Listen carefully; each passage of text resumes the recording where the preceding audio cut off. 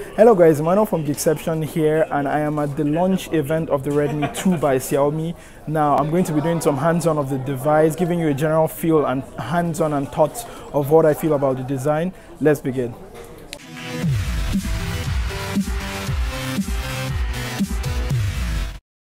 Okay guys, this is the Xiaomi Redmi 2 uh, the successor to the popular One S, and there are lots of new features that separates this from its older brother.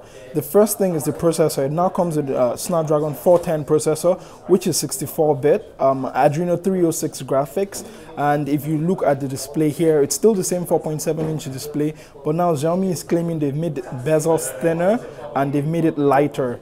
Uh, so um, uh, to be exact, 25 grams lighter than the Redmi 1S. It's got one gigabyte of LPDDR3 RAM, eight gigabyte of flash storage, and 32 gigabytes um, expandable SD card storage.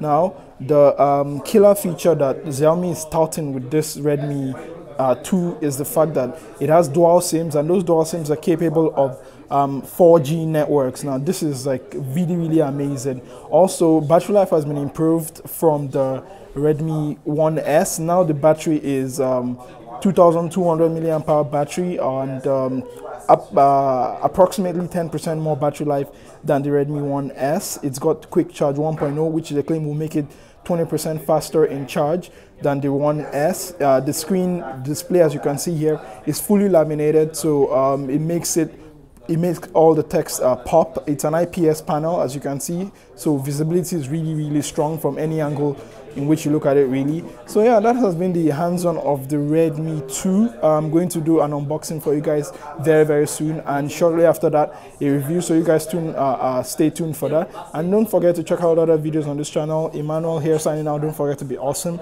I'll catch you guys in the next one. Bye.